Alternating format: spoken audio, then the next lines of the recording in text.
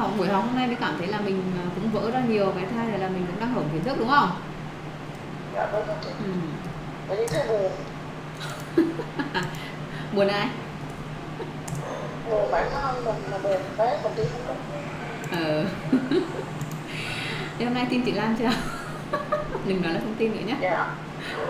Dạ tin lắm lắm luôn. Đấy thì chị bảo là thôi cứ học với chị đi u cha đi chị không thích tư vấn nhiều như thế. Xong cuối cùng chẳng đâu ra đâu ấy. Tin lắm luôn. Tin tin lắm luôn đấy ok. Chị làm em em muốn tâm sự chị chút. À, tại vì chị biết sao không? Ừ, khi mà em bắt đầu vô cái nghề này á ừ, là em nhà em thì có nhiều mối quan hệ. Ừ, mà em thì quen biết cũng khá là nhiều. Anh em trong gia đình ai cũng là công ty Ừ. viên làm lớn này kia xong tự nhiên cái em tự nhiên em, em học bác sĩ ra em cũng kinh doanh nhưng mà không hiểu tại sao em cũng thấy là năm 11 cái đó em lại thích. Em thích xong em đầu tiên vô trung tâm em học. Ừ. trung tâm em muộn nhất là năm sáu triệu rưỡi. Còn em học lý thuyết học về đã xong rồi đầu em chả hiểu gì hết tại vì người ta không có dạy lý thuyết vô người ta cứ dạy cái kiểu gì mà cứ tập hóa đơn là học mấy từ vậy đó. Ừ, xong rồi nó ủa tại sao mà nó nó làm được cái này? Nó không phải không dạy không dạy cho cái xe mà dạy cho xe được cái phần mềm mà đâu có công thức đâu đâu có hiểu ừ, em học được tới nửa khóa em nản em bỏ. Em bỏ xong em qua bên ờ, cái chị đó chị Thảo. Là hồi đó công ty của chị em. Ừ, công ty chị em chỉ họ thôi cho buồn em lấy công ty đó em làm. Em qua cho em qua cho bà dạy em trên công ty đó luôn. Ừ, em cũng nói tiền học. Em nói với bà có 4 triệu à nhưng mà học à, được 3 tháng.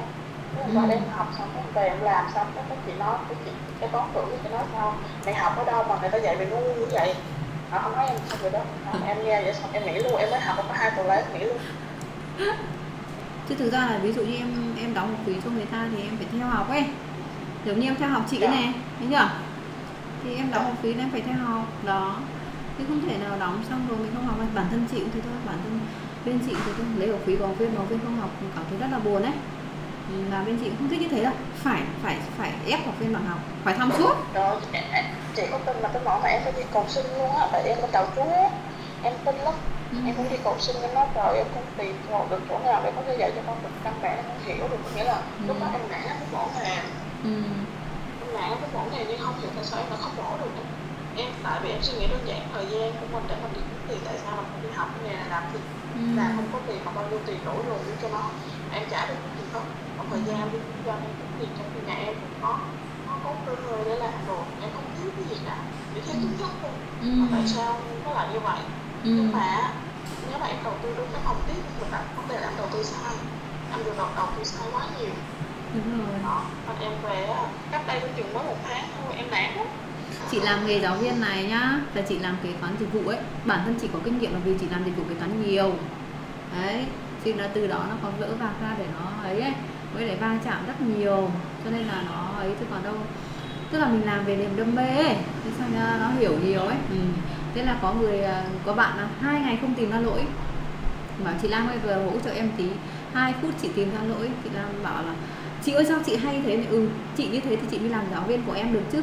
Thế nhưng mà các bạn rất là thích chị có nghĩa là u cha lúc nào là chị trừ khi chị bận quá chị ở ngoài đường ấy là chị chịu. Là chị nhắn lên lại là, là thông cảm lúc khác là chị ở ngoài đường không thể nào cha ngay nhưng mà đã ở ngồi trên máy tính ấy thì chị sẽ dẹp việc của chị đi để chị vào hỗ trợ cho các bạn. Cho nên các bạn rất là thích ở trung tâm chị chỗ đó. Mặc dù phí có thể cao một chút cao một chút thôi chứ chứ phải là cao quá nhiều đâu. Học nó, trực nó thật sự khi mà em chưa tin tưởng thì khi đó em thấy cao nhưng mà khi mà em em ví dụ mang lại một cái gì đó cho em là em cần một kiến thức cái gì đó thì đối với em Ừ, đúng rồi, nó không cao. Đúng. nó không có cao so với những cái gì các em Ừ. nói chung là bên chị là dạy có chất lượng cho nên là phí đó là xứng đáng với cô giáo bản thân chị giáo viên người ta dạy người ta bỏ công ra ấy người ta không thể dạy phí thấp thực ra bên chị phí thấp bên chị cũng nhận có những khóa học thấp tiền bên chị cũng nhận thực sự ấy chứ nhưng bởi vì sao mình đào tạo là mình phải lấy uy tín mà muốn uy tín thì nó phải trong ngành với phí em hiểu không phí bên vì mình có phải là lấy học phí xong mình phải trả cho cô giáo mà em. Nên là à, nên là mình mình phải thông cảm. Nhưng mà đương nhiên là cái ban đầu tiên thì, thì rồi ban đầu thì chưa tin nhưng mà sau dần dần ấy nhiều bạn tìm hiểu bên chị xong mà cũng chưa hề học đâu. Nhưng mà tin luôn tin luôn. Bởi vì sao? Nhìn vào một cái kênh youtube của bên chị rất lớn. Em nghe và xem rất nhiều giọng của sài gòn bên em học ấy. Đấy các bạn đi học nhiều. Thành ra là ừ, có một cái niềm tin nào đó với lại nhiều người cũng zalo với chị một cái họ bảo là ừ, ta không biết tại sao nhưng mà em tin chị. Có nghĩa là có thể họ nhìn ờ, cái cái cái cái gì đó ở ở cái hình ảnh trên zalo của chị ấy thì họ bảo họ tin chị và họ đóng học phí cho chị luôn. Thì chị cũng không biết được vì sao đâu. Nhưng mà chị thấy cái đấy thì, thì là cũng có rất nhiều người nhận xét như thế. Kiểu bảo như là mình cái cái cái cái cái gì đó nó hiền hiền hay là gì đó ấy thật thật ấy.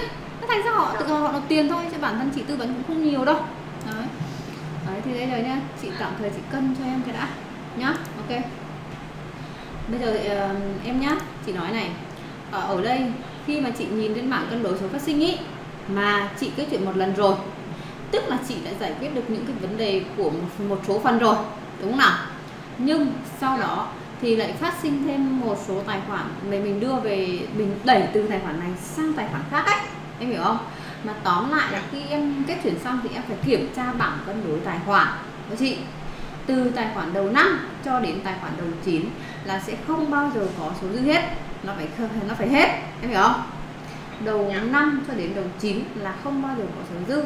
Thế tại sao không bao giờ có số dư? Tí nữa chị kết xuất ra nghĩa ra là về mặt nguyên tắc kế toán đấy là bạn nào chưa có cơ bản bạn phải học lại nguyên tắc nguyên lý kế toán. Nhưng bây giờ chị sẽ dạy cái tình huống cho em đã hiểu không và sau này hỏng thì mình mình sẽ bổ sung nó sau. Thế thì bây giờ chị vấn đề giờ chị đang thấy là 642 của nó đang chưa hết số dư. Thì bây giờ chị sẽ dạy em vào đâu để xử lý vấn đề. Thì vào cái chỗ biểu tượng số cái này này. Nhìn thấy chưa? Ừ. Đó nhẽ là phải học tình tử đúng rồi sang phần kết chuyện này này. Bỏ ghi xóa cái cũ đi. Nhá. Kết chuyện lại. Ừ, để cho nó ra số lượng mới kết chuyện lại cái này tí nữa chị cũng dạy cho em cách ngày mai nói chuyện với cái bạn kế toán à, trên công ty ấy mà bảo là của bạn ấy không sai. Vậy bạn hiểu thế nào là một cái báo cáo tài chính? Từ đầu năm cho đến đầu chín có không về nguyên tắc là nó không có số dư ấy mà bản thân bạn kết chuyển còn chưa hết. Đấy 64 à, 338 thì mới chỉ chi thôi không đưa vào 642 để tính cầu chi phí được chưa? Lương mới chỉ chi thôi không không trích không trích lương vào chi phí. Đấy, được chưa? Hay có thể nói nói là cái tiền lương đấy có thể không trích vào chi phí cũng có em chị cũng có thể chấp nhận.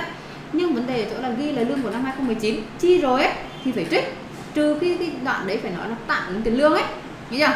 Tạm ứng tiền lương thì mình sẽ không không trích vào chi phí năm đó. Thì là khác. Nhưng mà vì ở đây ghi là chi tiền lương thì nó phải là có khoản trích vào chi phí em hiểu chưa? Thế còn sau khi chị cất lại chuyển lại chị cất ở đây thì em lại vào báo cáo tài chính này. Tí nữa mình sẽ so sánh luôn cái kết quả của mình so với người ta ấy.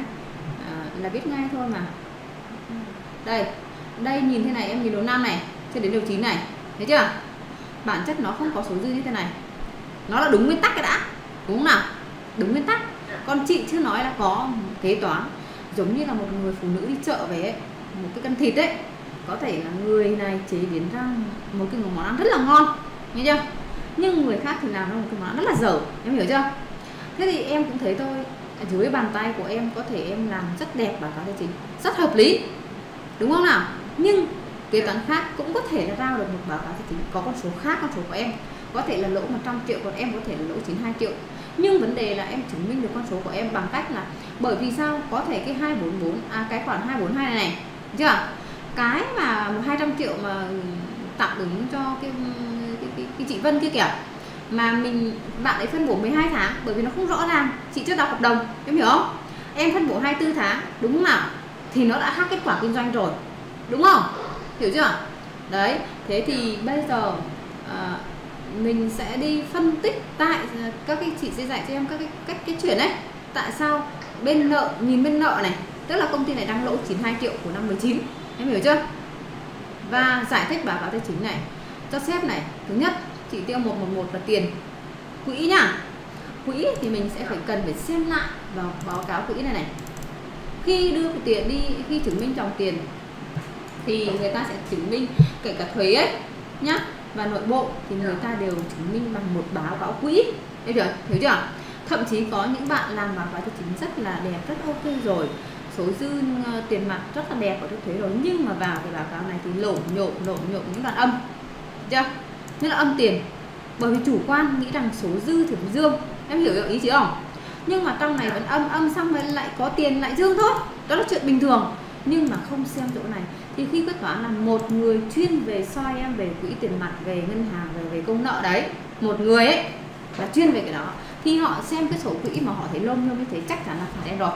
Bởi vì bạn bạn này làm sai rồi, không bao giờ có một chuyện là một công ty mà lại không có tiền. Em hiểu không? Tức là tiền bị âm được mà kinh doanh được thì chị chịu. Không có tiền làm sao mà chi đúng không? Thì ít nhất ở thời điểm đó em cũng phải dùng một cái bút toán mượn tiền vào. Hiểu ý chị chưa? Mượn tiền vào bằng cách là nợ một một của ba ba tám tám như chị hướng dẫn cho em đấy. Đấy là thuế. Và thậm chí nội bộ cũng thế thôi nội bộ lại càng không được luôn bởi vì tiền không có thì làm sao mà kinh doanh được đúng không? Để vô lý không có tiền làm sao mà chi được. Nó có vấn đề chỗ là Ừ. khi mà nội bộ nó chỉ bị âm có nghĩa là tụi em ờ, ông đưa hóa đơn xong rồi ông chưa lấy tiền liền như tụi em hạch toán em nhận chứng từ ngày nào đó em sẽ hạch toán ngày hôm đó. Để chi cho ông. Ừ. Thế hiện tại quỹ thì không có tiền lời thiếu tiền mặt tiền sau ngày mai ông mới đi rút ngân hàng ông đưa về lại cho em. Lúc đó em mới thu À. vào À, thì- à nó mới hết âm. Đúng nhưng vấn đề chỗ đó là tức là nói chung là ờ, nhẽ ra là về mặt là thu trước rồi chi sau. Nhưng chẳng qua là ông ấy bỏ tiền Dạ. túi ra hiểu không? Thì ông ấy Dạ. chi tạm cái khoản đó thôi. Mà em lười em không hạch toán khoản ấy vào ấy chứ bản chất của kế toán Dạ. không thể có số âm được. Em hiểu không? Đặc biệt là nội bộ và thuế đều phải thế luôn. Đấy thì em sẽ chứng minh cho người ta bằng cái sổ quỹ này. Và số quỹ này thì hoàn toàn phải khớp. Tức là hoàn toàn phải khớp với số dư ấy. Quỹ thực tế tại thời điểm đó nhá. Đó đấy là nội bộ này. Thế còn tiếp theo ấy thì ờ, đi đến ngân hàng chị vừa nói xong. Công nợ chị cũng nói xong. Hiểu chưa? Công này là đúng 244 này em cũng giải thích được cho sếp đây là khoản ký quỹ cược sau này người ta trả về ấy, thì mình ứng ứng lại để tăng cái tiền mặt lên. Hiểu không? Thì em cũng giải thích luôn là em phải đưa vào 244 còn có thể là chị đang hiểu sai vấn đề đây không phải là tiền đặt cọc thì có thể 244 không phải thì phải là 242 nhưng trường hợp 242 đấy là ghi nhầm nội dung thôi chứ cần đã đặt cọc thì phải là 244 hiểu chưa? Rồi thế còn 3382 này nó là tiền thuế môn bài. Đối với thuế hay nội bộ thì cái tài khoản 338 này không bao giờ có số dư. Hiểu không? Nhìn báo cáo tài chính có số dư là sai. Không bao giờ có số dư nhá.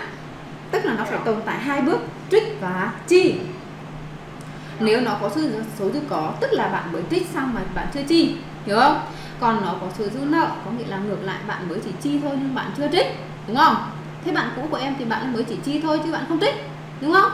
Bởi vì ngân hàng của bạn đã khớp rồi nhá. Bạn ấy chưa biết cân thôi chị không nói bạn ấy làm sai nhưng bạn chưa biết cân rồi còn 334 thì chị cũng vừa nói xong nhá 334 thế muốn tìm hiểu tài khoản 334 thì đơn giản thôi, vào danh sách tài khoản 334 đây, hệ thống tài khoản này.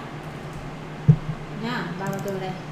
Này, nó nó là một tài khoản đúng tính và ở đây chị sẽ đặt nó từ theo kiểu là đây, lưỡng tính nhá thấy chưa? Hoặc là lưỡng tính thôi, còn lúc nãy của em. Thế này mới là đúng. Thì lưỡng tính này là nó phải nằm giả sử chị nó xóa cái phiếu uh, cái phiếu trích đi một cái là nó nằm bên nợ của 34 còn lúc nãy là nó lại nằm bên có âm bởi vì bạn ấy chưa đặt về bút toán lưỡng tính hiểu không? Làm thì phải hiểu phần mềm của nó. Đấy. Thế còn 338 là gì? 411 là gì? Chị giải thích rồi